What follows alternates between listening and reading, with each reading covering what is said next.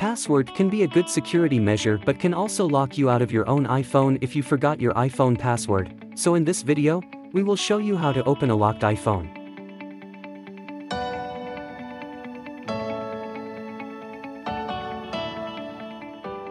Tip 1. Unlock iPhone with emergency call. First, go to the emergency call screen on locked iPhone.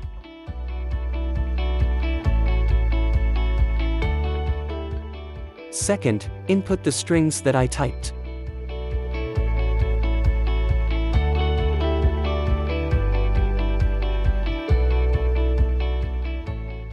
And then tap on the call button 8 times.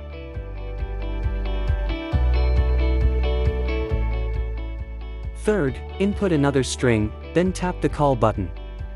It will show you the lock screen in gray.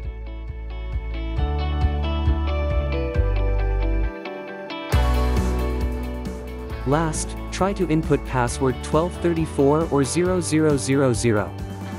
Back to the lock screen, swipe up, your iPhone is unlocked.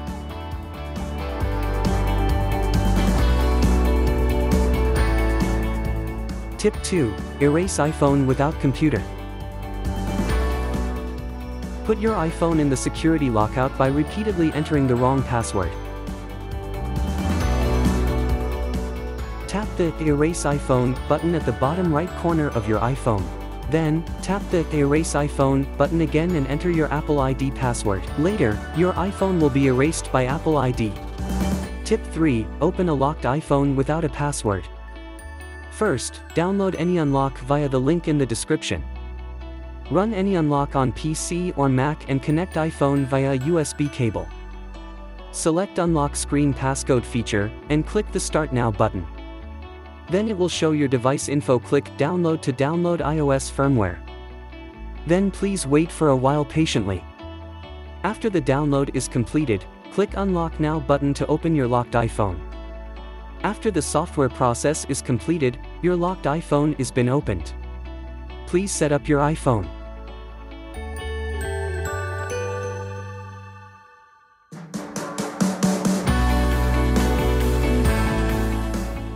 Thanks for watching this video, please don't forget to subscribe to our channel to get more tips, and leave your comment if you have any questions.